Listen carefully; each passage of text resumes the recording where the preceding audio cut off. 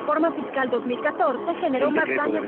para la frontera. La formalidad de las empresas es una tarea La economía avanza. La proveeduría maquilador sigue siendo el La gran concentración de poder de mercado en México La transparencia gubernamental. No es nada personal. Nada personal. Son solo negocios. Solo Negocios Radio. Las mejores entrevistas y análisis para lograr una toma de decisiones adecuada. Contáctenos. Correo electrónico. Correo arroba solonegocios.mx. Página de internet. www.solonegocios.mx. Facebook. www.facebook.com diagonal solonegocios mx. Arroba solo negocios. Y recuerde, no es nada personal, son solo negocios.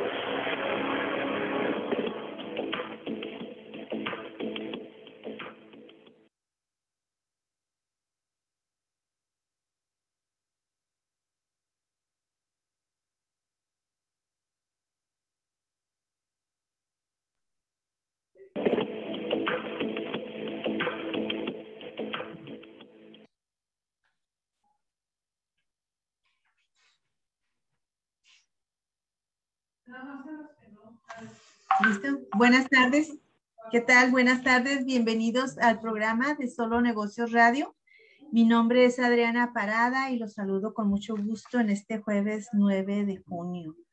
Y pues eh, les recuerdo, ¿verdad?, que este espacio es para UTEC Corderplex. Les damos las gracias al licenciado Alejandro Sandoval Murillo por el espacio que nos brinda y Arturo Galarza que se encuentra en los controles. Si gustan enviarnos algún mensaje o pregunta, pueden comunicarse al teléfono en cabina, es el 656-613-1113 o enviar un mensaje por WhatsApp, el 656-281-2765. Y pues como cada jueves, eh, eh, les comento que tenemos siempre pues novedades e información respecto a lo que en nuestra frontera acontece en el mundo de las capacitaciones, eh, cursos, talleres, conferencias, todos los eventos que, que, se pueden presentar, ¿verdad? Para que puedan aprovechar y pues eh, acercarse al mundo de la tecnología, de la educación, que pues constantemente pues se generan eh, cursos nuevos, conocimientos nuevos que hay que aprender para los jóvenes y niños de nuestra frontera. Y pues el día de hoy tenemos a, a un, una institución invitada, eh, muy representativa de aquí de nuestra frontera. Eh, en lugar del doctor, eh, del licenciado Carlos Ernesto Ortiz, pues nos acompaña el secretario académico de la Universidad Tecnológica de Ciudad Juárez, el secretario Edgar Lara Enríquez. Bienvenido, doctor Edgar Lara. ¿Cómo está? Buenas tardes. Hola, buenas tardes. Bien, muchas gracias. Gracias por la invitación, licenciada. La verdad es que es un privilegio y un gran honor poder estar con ustedes compartir lo que hacemos en la Universidad Tecnológica y sobre todo, pues tratar de llegar a, a la población, a su auditorio, para que podamos difundir el, el, esfuerzo que estamos haciendo con nuestros programas académicos en la Universidad Tecnológica. Muchísimas gracias a la orden. Bueno, pues eh, tenemos eh, eh, por ahí la información, ¿verdad? Que están festejando el 23 aniversario de la universidad. Así es, efectivamente, esta semana, estos días, estamos cumpliendo 23 años lo cual eso nos llega de muchísimo regocijo, energía, de poder eh, dar una retroalimentación y sobre todo fortalecer también nuestros programas académicos. Pero bueno, pues esta semana estamos pues con mantener largos, celebrando, eh, no sin descuidar, por supuesto, las clases y el tema académico, pero seguimos festejando, hemos implementado una serie de actividades en lo que, lo cual eh, todos nuestros docentes, todos nuestros cuerpos académicos, nuestros alumnos están participando y, además de manera mucho, muy intensa. Efectivamente, cumplimos 23 años, licenciada. A ver, eh, doctor, pues si nos puede platicar un poquito de historia, ¿verdad? De los antecedentes de la universidad, ¿cómo es que, cómo es que nace, a partir de qué? Bueno, la Universidad Teológica eh, básicamente nace a raíz de una necesidad concreta en el sector productivo. en base incluso a una necesidad de una política pública de poder incentivar y crear eh, eh, técnicos y crear gente especializada y especialista en las áreas técnicas, en lo cual nace lo que se le conoce académicamente como TCU, que es el técnico superior universitario. Eh, eso nace obviamente a 23 años en base a la propia necesidad, en base al propio desarrollo industrial que tiene la ciudad y en base a esos programas y la propia naturaleza de la universidad ha venido evolucionando. Eh, obviamente primero se evolucionó o se arrancó con los, eh, el técnico superior universitario, posteriormente logramos implementar en base al éxito algunos años logramos crecer hacia ofertar la continuidad de estudios eh, de TCU, brincar a ingenierías y licenciaturas. Y después de ese crecimiento y ese gran éxito que se ha tenido en la Universidad Teológica, hemos podido brincar o crecer, mejor dicho, hacia ofertar posgrados. Actualmente tenemos dos posgrados, dos maestrías en las áreas de ingenierías. Y eso ha venido incrementando. Creo que es muy importante, licenciado, mencionarte que eh, la Universidad Tecnológica de Ciudad Juárez es la universidad más grande del país de las tecnológicas. Actualmente contamos con 8.000 alumnos. Eh, eso es importante y relevante mencionarlo, ya que la estructura o la naturaleza de las universidades tecnológicas están pensadas únicamente para contar máximo con 3.000 alumnos, obviamente por su tema técnico. Nosotros tenemos 8.000 alumnos, lo cual eso implica el boom o el crecimiento, la demanda que tiene Ciudad Juárez en la necesidad eh, que tiene la industria en promover y tener gente especializada, técnicos y sobre todo especialistas en las ingenierías. Y por eso la universidad ha adecuado sus programas y ha obtenido ese crecimiento, en lo cual ahora, pues con los 23 años, vamos a crecer. Y si me lo permites, creo que valdría la pena mencionarlo, universidad. Estamos por firmar un convenio para ofertar nuestro primer doctorado en la Universidad Teológica y eso va a dar las, pues mención la próxima semana, hay una convocatoria para firmar el convenio con la Universidad Autónoma de Coahuila y estamos muy contentos porque eso lo estamos haciendo dentro del marco de las celebraciones de la Universidad Teológica. ¿Cuál es, ¿Cuál es la especialidad que están pensando para hacer este doctorado? Eh, qué, bueno que me pregunta, licenciada. Creo que es muy pertinente tu, tu pregunta y me das la oportunidad de platicártelo precisamente en base a nuestra fortaleza, nuestra área que es técnica, pues, contamos con ingenierías dentro de la universidad, nuestra, nuestra fortaleza son precisamente las ingenierías y, y debido a eso, nuestro doctorado que vamos a ofertar es el doctorado en Administración y Alta Dirección en Gestión Tecnológica. Si bien tenemos eh, un enfoque eh, de expertos técnicos y ingenieros, nos hace falta contar con especialistas y formar a, nuestros cuerpos docentes para que nuestros ingenieros también tengan las competencias para gestionar todo el desarrollo tecnológico, para desarrollar toda la parte técnica y sobre todo vincularnos más fuerte con el sector productivo y con el sector industrial y es por eso que nuestro, nuestra área terminal del doctorado será la gestión tecnológica me imagino que es para, sí, claro, para proyectos, ¿verdad? De manejar el personal en proyectos de desarrollo. Es correcto. Eh, actualmente eh, tenemos en la universidad 18 laboratorios, en lo cual tenemos laboratorios de mecatrónica, de mantenimiento, de soldadura. Hace poco acabamos de inaugurar un laboratorio nuevo que es el de soldadura especializada para tablillas electrónicas tenemos laboratorios en Python, en, nuestra gama es muy amplia, son 18 laboratorios, en lo cual esos 18, bueno, pues están especializados en las áreas técnicas, en las áreas productivas. Y por lo tanto, tenemos un laboratorio de robótica.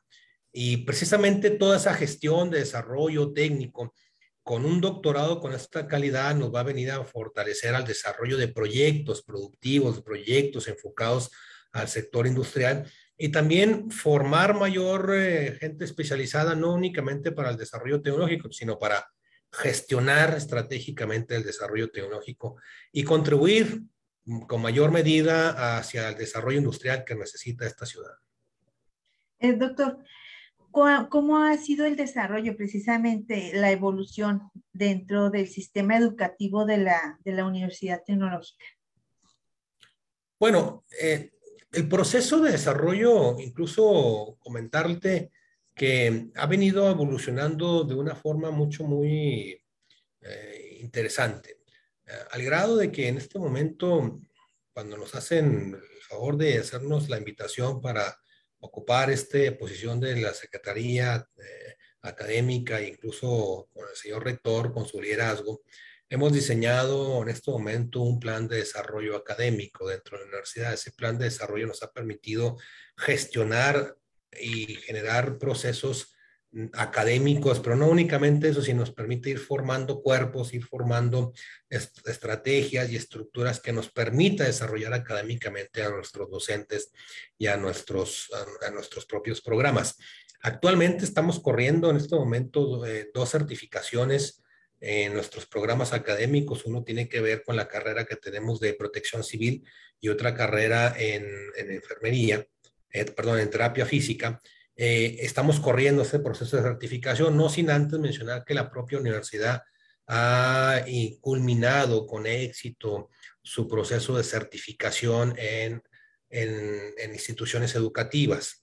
Por lo tanto, el proceso de crecimiento, desarrollo académico es constante, es firme y sobre todo con un proceso de retroalimentación constante a través de un concepto que se llama AST, que no es otra cosa nomás que un análisis situacional del trabajo.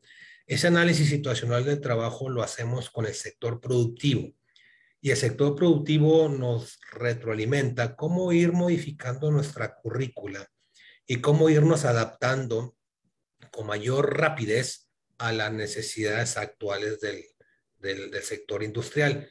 Vale la pena mencionar que eso lo hacemos constante porque nuestro modelo educativo es eh, nos permite o está estructurado que tenemos un 70% práctico y un 30% teórico. Es decir, el 70% de nuestros alumnos están enfocados completamente en los laboratorios. Es decir, en la práctica constante, en la práctica, en, eh, eh, en el contacto directo con las máquinas, con la tecnología. Y eso nos ha permitido ir desarrollando y adaptarnos mucho más rápido que con el sector productivo y adaptar nuestro proceso de desarrollo académico. Eh, una pregunta. Este análisis situacional del trabajo, ¿ustedes este, lo, ese análisis lo realizan en base a, a la industria maquiladora? ¿También están considerando a las pymes? No únicamente lo hacemos en base a, la maquiladora, lo hacemos en base a la propia necesidad de cada carrera. Actualmente tenemos 12 carreras. Por ejemplo, tenemos la carrera de ingeniería fiscal y contaduría. Eh, ahí particularmente nosotros hacemos una convocatoria, no únicamente con el sector empresarial y las pymes, sino también convocamos a los organismos como especializados, como el Instituto de Contadores Públicos, incluso con empresas contadores, etcétera, para ir analizando cómo podemos ir adecuando nuestros programas académicos. Pero en el caso de, otras materias o digamos otras carreras mucho, muy especializadas, como en el caso de, de, tecnologías de información, pues ahí es otra la convocatoria que tenemos que hacer para que nuestros eh, programas académicos estén enfocados directamente al usuario, a la empresa, a quienes están eh, innovando incluso en el sector. Y eso nos está permitiendo. ¿Perdón? ¿Me permite un momentito? Vamos a un corte y regresamos. Con todo gusto. Gracias.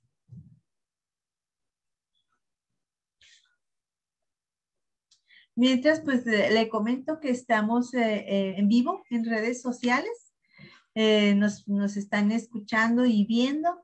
Así es que, pues ahí podemos retomar un poquito de, del comentario que hizo, ¿no? De, de este, esta eh, metodología que utilizan ustedes para, para determinar, ¿verdad? Lo que se requiere precisamente pues en el campo laboral aquí en nuestra frontera. Correcto, sí, efectivamente, bueno, como mencionaba, en base a los distintos requerimientos de las carreras, es cuando nosotros convocamos al sector productivo o a los usuarios, mejor dicho, que son, por ejemplo, en el caso de la, materia de protección civil, pues convocamos a los usuarios de protección civil, a, incluso a maquiladoras, concretamente en las áreas de emergencia, en las áreas de control de siniestros, etcétera, etcétera, que son los que retroalimentan y fortalecen y evalúan nuestros programas académicos y además nos recomiendan qué adecuación tenemos que estar haciendo con nuestros programas académicos. Esto es muy importante porque, insisto, el 70% de nuestro, de nuestro programa académico es totalmente práctico. Y además, los últimos cuatrimestres antes de egresar, los, docentes, los alumnos tienen que cubrir una estancia, estancia en el sector productivo o estancia en el, con, con las empresas, para que sean las empresas quienes evalúen la formación práctica de los alumnos. Eso nos permite tener una flexibilidad enorme y además un crecimiento, retroalimentación muy práctica, muy enfocada en las necesidades reales. Yo creo que es una parte de, la diferenciación, ¿no? De la universidad tecnológica. Esa, esa, flexibilidad para, para la gente que trabaja que puedas continuar con su, con su preparación formal. Así es, hay una flexibilidad enorme, además eh, nos estamos 100% enfocados al sector productivo. Nuestros propios horarios nos permiten adecuarnos a, a, las propias necesidades del sector productivo y el sector empresarial. Eh, tenemos programas académicos que son desde las 7 de la mañana hasta la 1 de la tarde, por ejemplo. Y ahí, a partir de ahí, pueden ir a, a trabajar, no decir que hay en otras universidades que salen a las 3 de la tarde o a las 2 de la tarde y, y ya se complica mucho poder llegar a un horario específico para cursar en la tarde o trabajar en la tarde. Nosotros tenemos hasta la 1 de la tarde el primer, el primer eh, turno y luego ya los liberamos para que vayan a estudiar, a trabajar. Y viceversa, los que trabajan nosotros iniciamos el, cuatrimestre, las horas, a partir de las 5 de la tarde, y eso le da mayor flexibilidad a, la gente que trabaja para que pueda eh, pues armonizar perfectamente sus actividades. Ok, bueno, pues ya regresamos aquí con nuestros radioescuchas y como comenta el doctor Lara, ¿verdad? Pues la flexibilidad de, de, los programas académicos de la Universidad Tecnológica de Ciudad Juárez, pues es, están precisamente diseñados, ¿verdad? Para que toda la, la población este, activa, laboralmente activa, ¿verdad? Pueda incorporarse a estos programas. Así es, efectivamente, si me permite, licenciada, también parte de esa flexibilidad es que actualmente estamos eh, lanzando la convocatoria de nuestras dos maestrías, eh, la maestría en Ingeniería de Sistemas Industriales Sustentables y la maestría en Logística y Negocios Sustentables.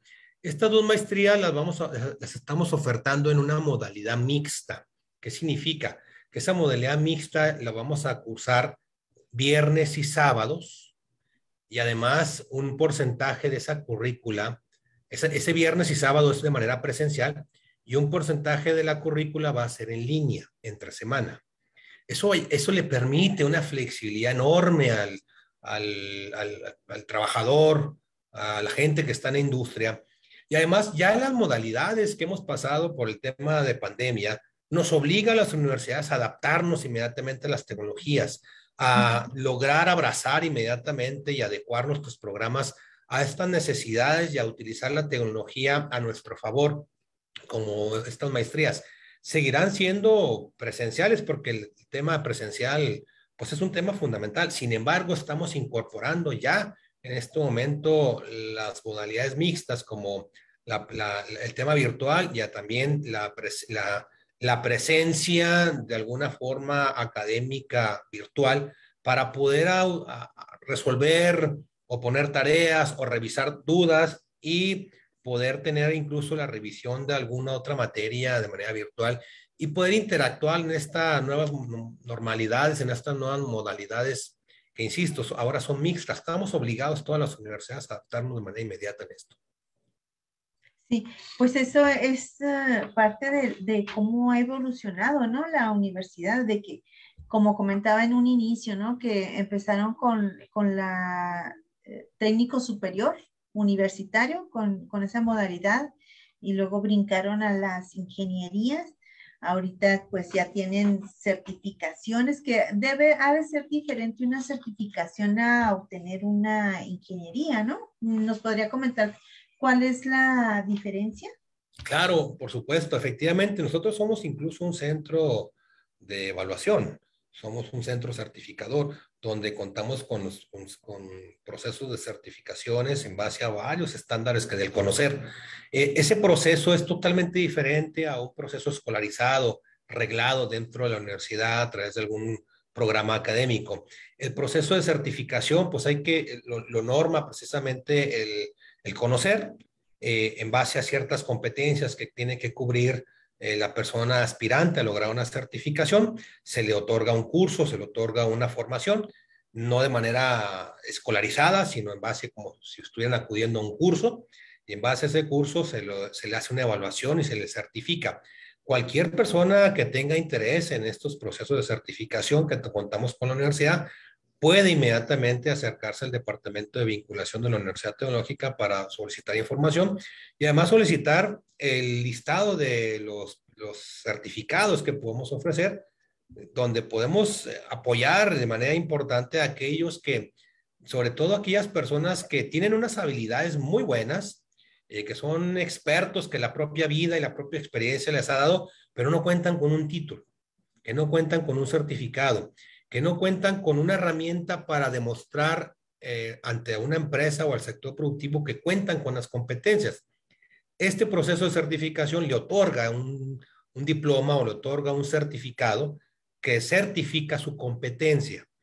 Y eso a partir de ahí, bueno, pues se le empiezan a abrir mucho las puertas a estas personas que logran obtener habilidades. En, en la práctica, ¿qué tanto se, se considera precisamente estas, estas certificaciones aquí en nuestra frontera. Yo he escuchado que en el centro sur de, nuestra república, ¿verdad? Sí tienen más eh, solicitud. Aquí en la frontera se tiene este, conciencia por parte de las empresas en solicitar este tipo de certificación. Sí, hay una, yo creo que hay una clara conciencia, no, únicamente de, de, las empresas, sino también de las personas que necesitan un papel o necesitan certificarse en alguna competencia. Pero creo que la pregunta que hace licenciada es muy interesante debido a la propia coyuntura regional en la que estamos y con la que eh, hemos venido evolucionando, porque no dejamos de estar presente en un entorno industrial, no dejamos de estar en un entorno de desarrollo de maquiladora. El 65-67% de la población económicamente activa está eh, en la industria maquiladora de exportación y es importante mencionar que en el caso de la Universidad Tecnológica, el grado y porcentaje de colocación de nuestros alumnos eh, en el sector maquilador es un 80% de todos nuestros egresados. Es decir, de nuestra población que está egresando, el 80% ya sale con empleo en el sector industrial. Eso implica la demanda inmediatamente que tiene el sector industrial con la Universidad Tecnológica y eso implica de que la universidad y sobre todo el sector productivo empieza a demandar particularmente los programas de TCU de manera importante. Porque al momento de un joven que obtenga un certificado o un diploma de técnico superior universitario, le permite inmediatamente insertarse en el mercado laboral, inmediatamente. Eh, con, porque en caso de, dos años, inmediatamente obtiene un, un diploma que lo avala como un técnico superior universitario. Le permite, permite incorporarse al sector productivo y ese mismo incorporación le da mayor oportunidad. Permítame.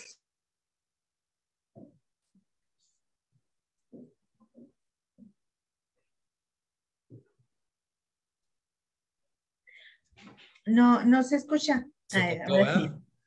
entonces, eso nos permite inmediatamente integrarnos eh, en, el, mercado laboral. Eso implica que efectivamente la maquiladora nos, nos tiene mayor interés en el, en el, proceso de TCU y de ingenierías. Eso no implica, eso, y tampoco exime de que no, hay una gran demanda en los procesos de certificaciones, en los procesos que nos permite las empresas, incluso los técnicos, la misma maquiladora manda a sus docentes, a sus técnicos a sus ingenieros a lograr una certificación en algunos procesos específicos. Y ahí también hay una gran eh, conciencia de la industria maquiladora, sector productivo, para que sus propios técnicos, sus propios ingenieros obtengan certificaciones específicas. Eso está, sí, pues es muy interesante, ¿verdad? Entonces podría decirse que uno de esos logros o, beneficios que ofrece la, la, universidad tecnológica, precisamente, pues claro, es avalar ese conocimiento. Efectivo, efectivamente, una vez que se otorga un certificado, certifica, precisamente como su nombre lo indica, las competencias o las habilidades para cumplir una función específica. Y es un, es un diploma, un certificado, avala esas habilidades adquiridas por parte del, del estándar, porque es un estándar que está en base a un, a un proceso que, que, rige el CONACER y en base a ese eh, estándar se le evalúa y se le otorga un certificado. Muy bien. Eh, una pregunta, doctor. Eh, no sé si la universidad, la que se ubica en, en el ANAPRA, en Rancho ANAPRA, ¿es parte de, de, la misma universidad tecnológica o es otra institución? Es una institución hermana, no depende de nosotros. Ah. Ellos tienen sus propios procesos. Sin embargo, bueno, eh, es una institución hermana en la cual colaboramos siempre, estamos integrados eh, y que siempre estamos colaborando de manera, de manera permanente, pero no depende de la Universidad eh, Teológica de Ciudad Juárez. Ellos tienen su propia, su propia autonomía. Ah, y comentaba que para el doctorado, ¿verdad? Es, ustedes hicieron la vinculación con la Universidad de Coahuila. Con la Universidad Autónoma de Coahuila, este, el martes de próxima semana estarán ya con nosotros para poder lograr este convenio, iniciar el proceso de convocatoria. Nosotros hicimos el enlace, como lo hemos estado haciendo con varias instituciones, hemos iniciado toda una serie de, de, vinculación estratégica con el sector productivo. No únicamente lo hemos hecho, ahorita actualmente estamos corriendo un proceso con un doctorado con el, con el Colegio de Chihuahua para formar doctores en investigación. Estamos en pláticas para también tener un doctorado en tecnología con la Universidad Autónoma de Ciudad Juárez.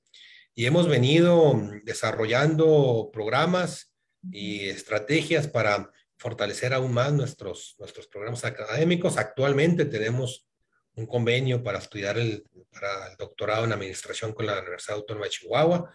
Es decir, estamos abriendo inmediatamente las oportunidades a todos nuestros docentes para que se fortalezcan y además es un interés muy importante de la Universidad Tecnológica de contar con más doctores y mayores eh, cuerpos certificados y de mayor rigor académico para fortalecer nuestros programas académicos. Ok, vamos a un corte y regresamos en un par de minutos.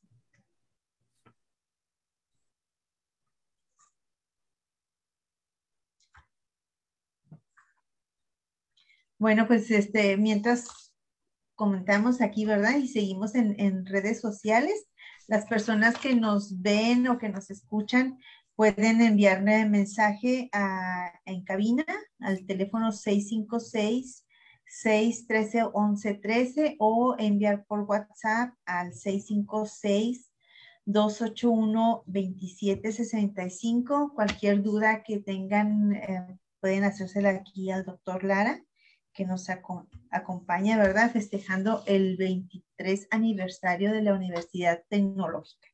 Y en esos años, eh, doctor, ¿cómo ha crecido o cómo inició, con cuántos alumnos o cuántos, este, con cuántas carreras ya ha crecido, claro, a lo largo de estos años, ¿no? Sí, efectivamente ha crecido bastante. Yo me hacen el favor de invitarme a partir de de noviembre del año pasado. No me tocó la historia de, la propia universidad, pero yo recuerdo cuando esta universidad fue iniciando con los primeros programas, se inicia con, con, con pocos programas enfocados al a TCU, al técnico superior universitario. Y la verdad es que ahora que me he puesto yo a revisar y ver cómo hemos venido, la verdad es que ha sido con muchísimo tesón y con muchísimo compromiso de los docentes, en venir a fortalecer y a generar rigor académico para ir abriendo poco a poco más programas académicos y que nos autorice la Secretaría de Educación Pública y, poder tomar el, tomar el reto de, de, brincar o de crecer, de pasar de técnico superior a ingenierías y luego de ingenierías a posgrados y ahora que estamos tomando el reto importante de brincar a un doctorado. Eh, la verdad es que el compromiso de los docentes, el compromiso de, de todo el personal administrativo, profesorado, alumnos incluso, pues es el que nos ha dado esta fortaleza de poder tener mayor rigor y además animarnos a, a fortalecer y dar estos pasos importantes de fortalecer y generar mayores técnicos y mayores ingenieros especializados en tecnología. Yo creo que hay un tema importante. El sector productivo cada semana está aquí con la universidad en reuniones. Eh, si no es un tema en específico, si no es el tema de ciberseguridad, es el tema de nanotecnología, el tema de mecatrónica, el tema de tecnología de información, de un software específico, de mantenimiento. Siempre hay un personal de la maquiladora o del sector productivo cada semana en la universidad, viendo, impulsando, revisando, convocando para integrarnos más y bueno, y eso le da una gran, una gran eh, fortaleza, pero sobre todo nos compromete cada vez más a poder eh, fortalecernos y ofrecer, ofrecer mayores programas académicos de mayor calidad. Ok, eh, bueno, pues, ya regresamos aquí al aire, ¿verdad? Y como comenta usted, precisamente se han estado pues desarrollando más, más planes y para poder atender la demanda de la industria aquí en nuestra región. Y claro que pues esos han, eh, han formado esos planes de, de mejora, ¿no? ¿A, qué, ¿Cuáles son los objetivos o las metas a futuro que tiene la universidad?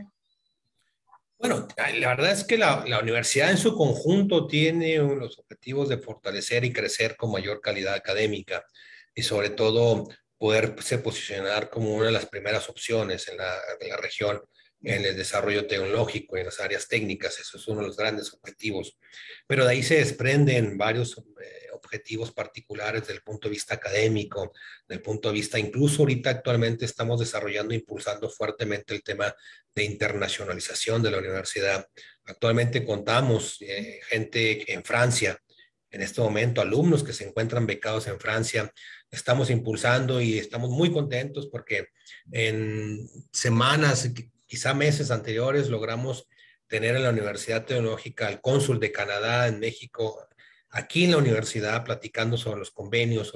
y eso nos permitió a que actualmente nos han aceptado tres alumnos de distintos programas a que vayan a la Universidad Regina en Canadá y que ya están próximos a irse. Y eso hemos logrado empezar a abrir eh, nuestra oferta y sobre todo nuestros programas a vincularnos con el área de internacionalización.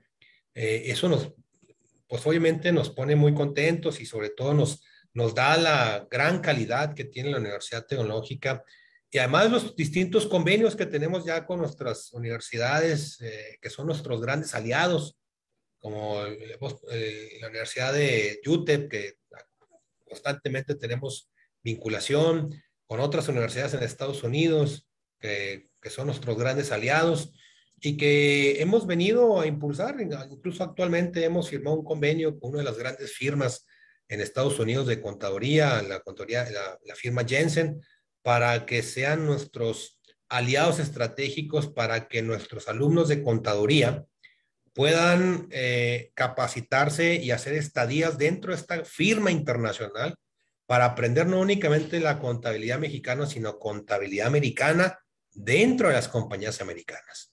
Y eso ha venido fortaleciendo. Y una de las grandes fortalezas de esto es que nos han aceptado ese convenio por el, el, nivel tan alto y exigente del inglés que, tienen nuestros alumnos. Actualmente nuestros alumnos, incluso para poder egresar eh, de nuestros programas académicos, tienen que lograr una certificación al menos de B2 para poder egresar. Eso es una garantía de que nuestros alumnos cuentan con las competencias para poder insertarse en el mercado laboral con el idioma inglés. Está muy, está muy interesante. En esto, eh, en este periodo de, de, pandemia, estos dos años, ¿cómo se compensó la práctica? Porque comentaba usted, ¿no? Que el 70% es práctico de, de, las carreras. ¿Cómo se compensó? Son dos años en los que, pues sí, hubo suspensión. ¿Qué, qué fue lo que implementó la universidad para que los chicos practicaran? Acabas de hacer una pregunta de los 64 mil millones de pesos porque eh, fue un reto importantísimo lograr adecuar los programas y lograr eh, establecer los mecanismos que nos permitieran eh, seguir operando bajo ese esquema. Yo creo que tengo que reconocer muchísimo a nuestros docentes que que gracias a ellos hemos podido superar este proceso y además llevarlo con éxito, em, al grado de que incluso logramos los convenios establecidos con las propias eh, empresas para que nos permitieran hacer que sus propias estadías fueran virtuales con las, em, las propias empresas, incluso la misma empresa nos lo pedía, nos lo solicitaba, decir, pues sí te, sí te, sí te recibo, pero ahorita la situación, o, o, cumples el protocolo exigente de, nuestro, de nuestra empresa, entonces ya le solicitamos al chico y si el chico aceptaba cumplir esos protocolos, pues eh, hacíamos el convenio, pero aquellos que tanto la empresa, la, el alumno veíamos no factible estar de manera presencial, pues hacíamos el enlace para que nuestras estancias y nuestras prácticas fueran de manera virtual, eh, al, grado de que la propia universidad desarrolló un sistema que se llama CICE. En base a ese CICE es un proceso de gestión interna de la propia universidad, donde en base a ese, a ese sistema de gestión pudiéramos inmediatamente a través de plataformas, como su nombre indica, gestionar estratégicamente no únicamente la universidad, sino nuestro proceso académico y nuestro proceso de estancias y nuestro proceso de gestión interna con nuestras empresas. Ese sistema es la que nos permitió evolucionar y nos ha permitido estar adaptados en ese proceso. No sin antes de, también declarar la, eh, con los propios convenios en que aceptaran las empresas y la propia universidad y la parte académica en aceptar que la propia universidad fuera de catalogada una estancia académica para que aquí pudieran establecerse a través de nuestros esquemas académicos la propia, la propia estancia que las empresas requerían para poder dar cumplimiento a ello. Fue un reto interesante, mucho, muy importante, al grado de que este año eh, teníamos retos importantes y regresamos al 100%. Nosotros implementamos un programa, establecemos un comité COVID que logró establecer los lineamientos. Primeramente, iniciamos este año con una apertura del 15% de nuestra población estudiantil. Posteriormente, en base a ciertos indicadores, nos permitieron crecer al 30%. Evaluamos constantemente y en base a esos indicadores crecimos al 50%. Y ahora a partir de este cuatrimestre estamos al 100% eh, nuestra población estudiantil. Imagínate, licenciada, 8 mil alumnos en un solo campus. O sea, su proceso de gestión es complicado. Y el 70% se encuentra en, en los laboratorios. Nomás solamente darte un dato. El día de hoy, nada más un solo edificio que cuenta con laboratorios.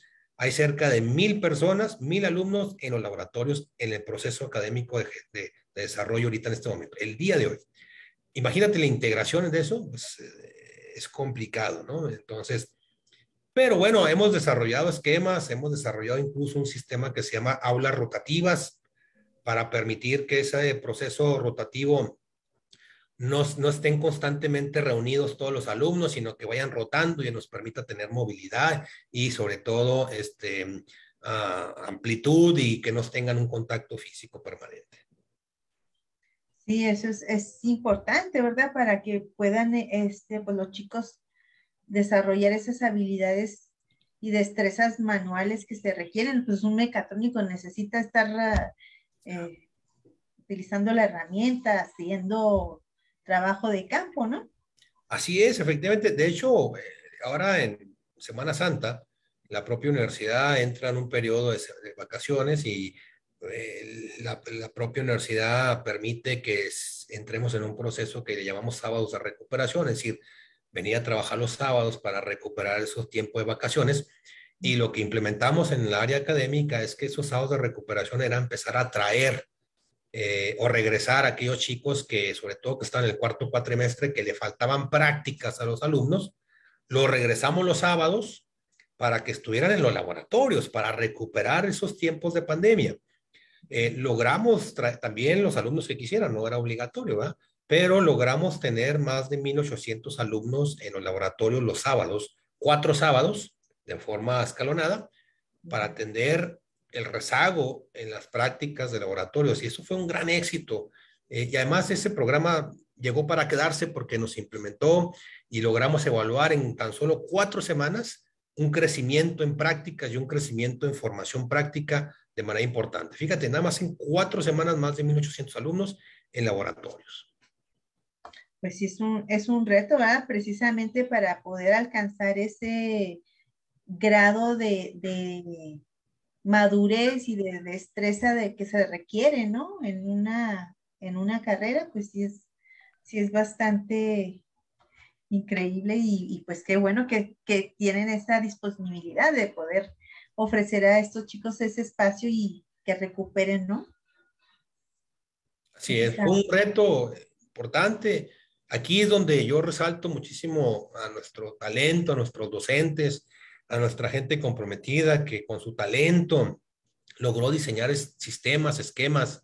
Simplemente hablar sobre un esquema y una estrategia de aulas rotativas no es sencillo requiere una habilidad organizacional muy importante de planeación. Eh, eh, imagínate nada más tener 187 grupos rotando constantemente al mismo tiempo. Es una habilidad importante que nuestros docentes desarrollaron y que es una de las fortalezas con las cuales ahorita en este momento contamos.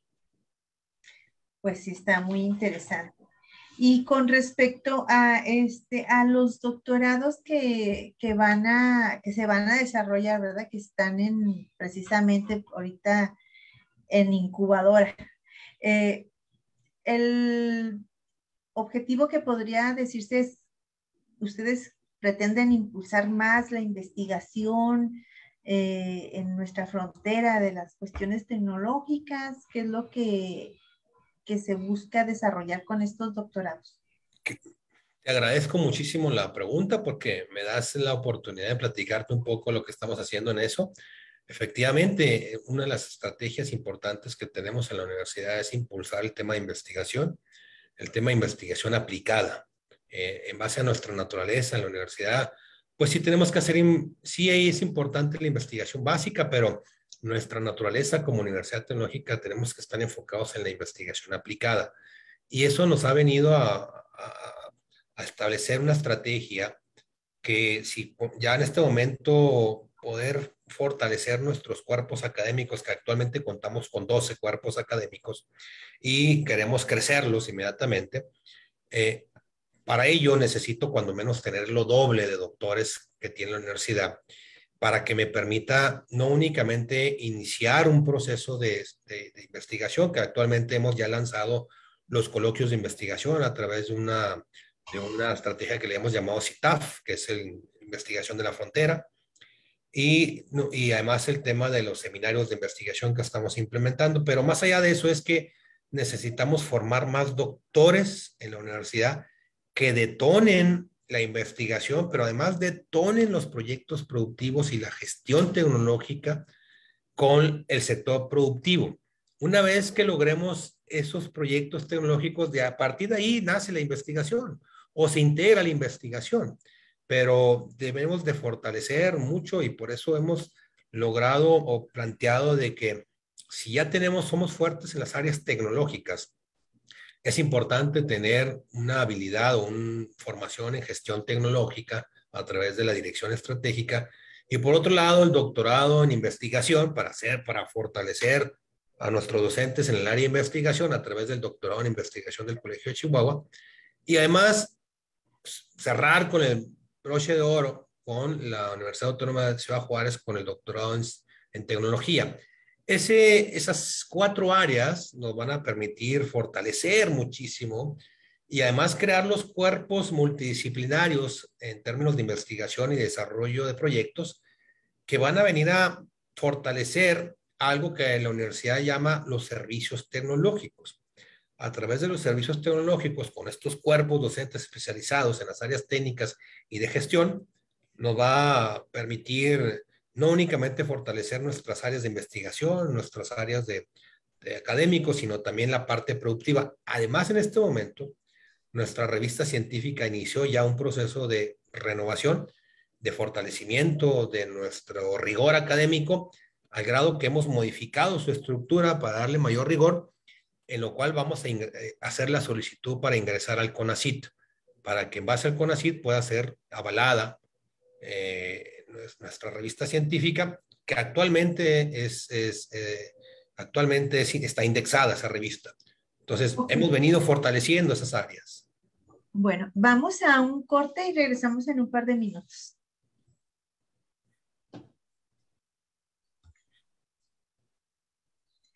Bueno, seguimos aquí en, en las redes sociales y comentaba, ¿verdad?, de, de, lo que es estos doctorados en investigación. ¿Cómo que podría investigarse, qué tema podría investigarse aquí en la frontera?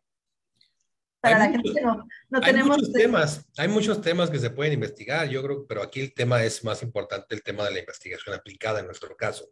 Por ejemplo, un tema muy importante y además muy demandado en el sector productivo es, por ejemplo, el tema de los, los materiales el tema de los materiales, por ejemplo, un tema de nanotecnología, eh, que es importante ahí, cómo, qué tipos de materiales, con qué lesiones, con qué estructuras, de qué forma podemos darle mayor resistencia a un material para generar algún producto o un proceso.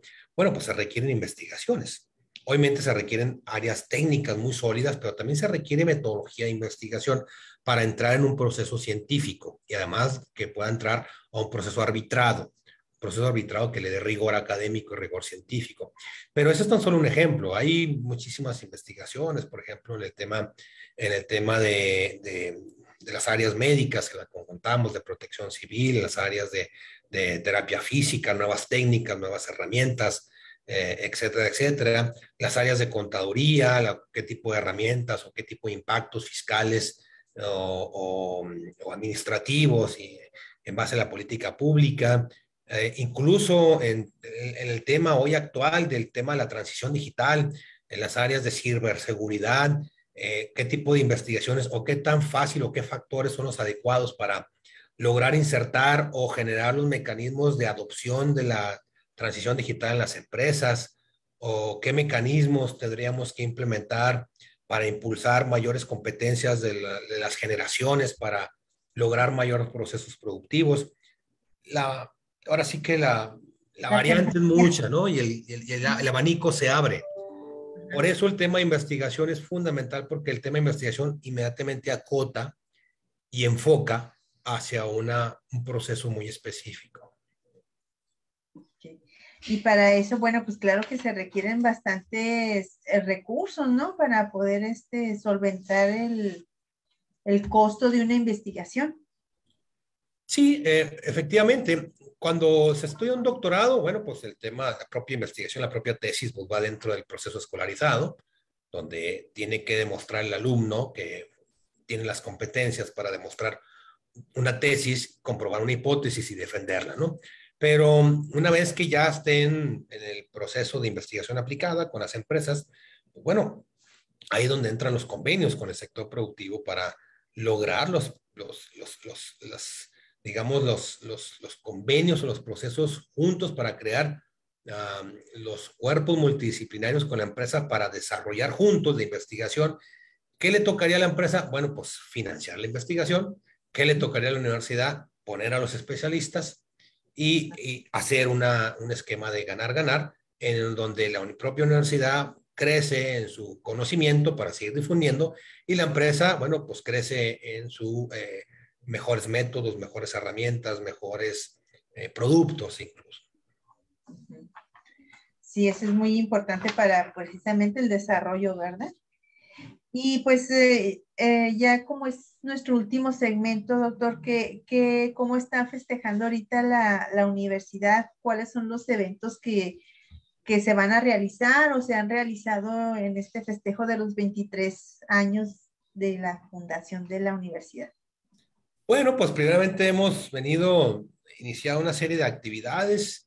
Eh, el día de hoy incluso se llevó a cabo una, un rally académico donde convocamos a todos nuestros alumnos de las diferentes carreras a que pudieran en, concursar entre ellos en base a ciertas preguntas académicas, no muy rebuscadas ni muy complicadas, sino que entrar en un proceso de competencia. También tendremos una celebración de alguna, uh, algún corte de pastel o de celebración de pastel con todo el, personal de la universidad. También contaremos con alguna, alguna actividad de poder lograr integrar a, los, a, los, alguna fiesta con nuestros docentes, con nuestros alumnos, incluso hasta con el sector productivo que lo estamos invitando y lo estamos convocando a que celebre con nosotros. También tenemos una carrera, una carrera que el día, el fin de semana se va a celebrar donde incluso los invitamos a que se integren con nosotros, a que eh, entremos a competir. Y una serie de actividades que no hemos venido, también no las que no hemos querido hacer eh, ni académicas ni enfocadas a otras, sino que fueron unas actividades lúdicas para poder darle una mayor este, frescura y una mayor eh, integración, tanto eh, pues humana, ¿no? En la propia universidad. La convivencia en una universidad es muy importante para fortalecer el vínculo, generar un ecosistema académico y sobre todo generar un ambiente eh, positivo, muy virtuoso que nos permita generar mayor integración con nuestros docentes, nuestros alumnos. Y hemos, bueno, pues en base a eso hemos venido promoviendo muchas actividades.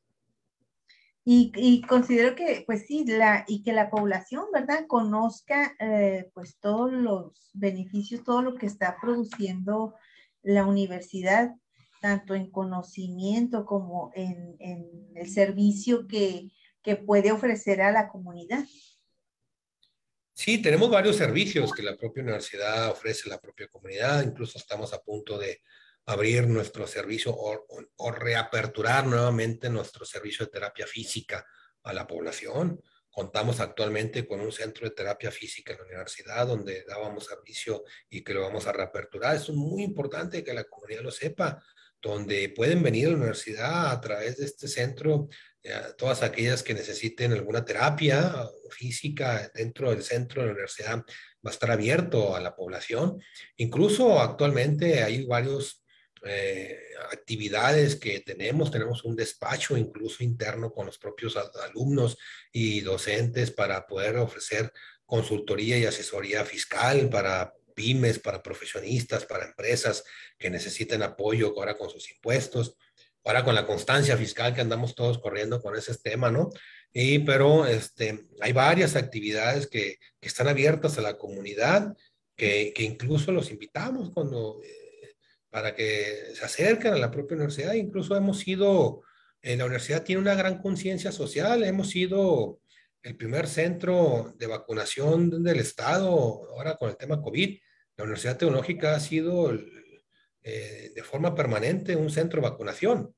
Eh, incluso ahorita actualmente tenemos, contamos con, con la instalación de la entrega de placas por parte del gobierno del Estado. O sea, hay una gran conciencia de la universidad para apoyar e integrarse con la comunidad y lo vamos a seguir haciendo, vamos a seguir fortaleciendo nuestras actividades y nuestras, nuestros propios programas, los vamos a, estamos abriendo a la comunidad para poder brindar el servicio y brindar la conexión que requiere nuestra, nuestra gente y nuestra comunidad, tanto social y académica y estudiantil. Muy bien. Bueno, pues entonces este, ya estamos por terminar aquí nuestro programa. Las personas que pues se interesen, ¿no? En participar en estas actividades, ¿en dónde se tienen que dirigir o dónde pueden consultar la información? Pues muy, muy importante, pueden entrar a la página de la Universidad Tecnológica, ustedes ahí directamente pueden entrar a poder eh, vincularse o bien pueden marcar los teléfonos 649-0608, el conmutador 649-0600, eh, ya sea en la extensión 3830 o 3819 para que les den mayor información. O pueden consultar la página de la universidad o a través de nuestras redes sociales de Universidad Tecnológica.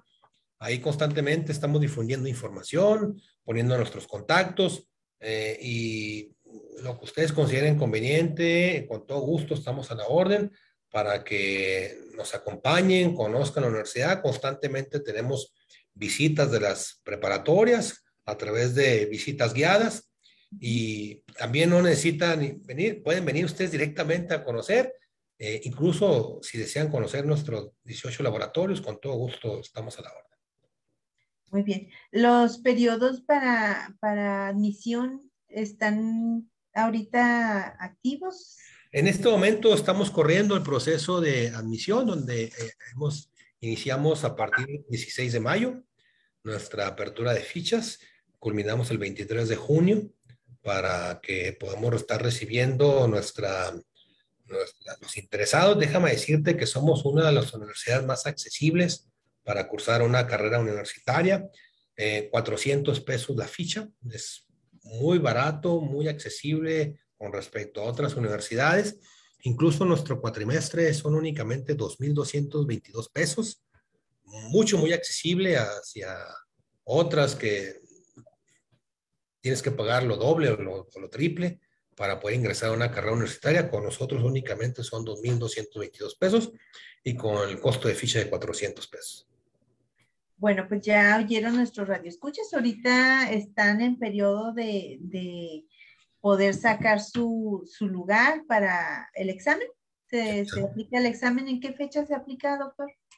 Eh, en este momento no tengo aquí la fecha, pero este, con todo gusto se lo, puedo, se lo puedo programar ahorita para mandárselo. Pero ahorita en este momento, eh, una vez que culminen las fechas, el 23 de junio, se empiezan a programar ya los exámenes.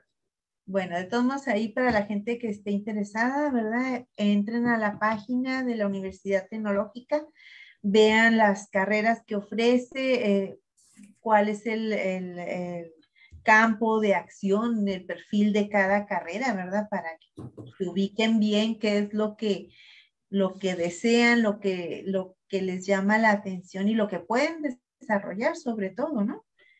Y pues es muy, buen, muy buena temporada, ¿verdad? Para poder consultar y, decidirse a, a, superarse para poder tener y obtener una licenciatura, una ingeniería o una certificación. Las certificaciones me imagino que son siempre constantes, ¿verdad? Sí, son constantes y abiertas, sí, correcto. Bueno, pues le agradezco mucho, doctor, por habernos acompañado esta tarde aquí en el programa de Solo Negocios Radio, en el espacio de UTEC Borderflex. Y pues a todos los radioescuchas les doy las gracias por acompañarnos y recuerden que cada jueves pues tenemos siempre una invitada una institución o alguna organización que pues lo que intentamos, ¿verdad? Es de que se conozcan todas las opciones para que ustedes pues tengan ese abanico de posibilidades, conozcan lo que tenemos en nuestra frontera y pues se apliquen, ¿verdad? Siempre a estarse preparando, a estarse superando y esto claro que va a tener repercusiones en su vida eh, familiar, profesional y claro que en, en nuestra vida ya como comunidad fronteriza. Con todo gusto, estamos a la orden. Bueno, pues muchas gracias. Nos vemos hasta la próxima. Hasta luego. Hasta luego. Gracias.